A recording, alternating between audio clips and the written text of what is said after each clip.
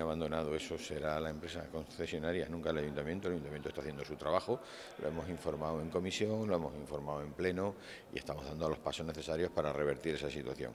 ¿Qué ha ocurrido? Es que lo hemos contado ya en todos sitios. Eh, falleció el administrador único de la sociedad, están ahora con los eh, trámites eh, de traspasos jurídicos, etcétera, que tiene que resolver la empresa y el ayuntamiento está preparando sus informes por si es necesario rescatar el servicio.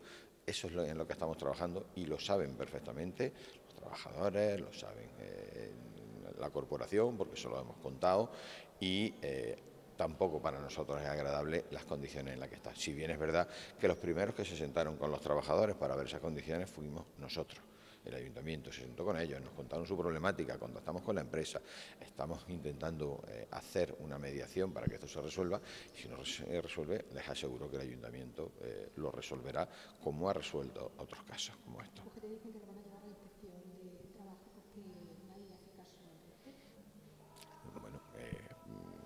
Una opción que tienen y nos parece estupendo, pero yo vuelvo a insistir, es decir, al final si lo llevan a la inspección de trabajo será contra la empresa concesionaria. El ayuntamiento, vuelvo a insistir, sabe qué es lo que tiene que hacer, lo está preparando y lo ejecutará en eh, lo más breve, en el más, en el más breve tiempo posible, pero tenemos que darle opción a la empresa a que resuelva la situación.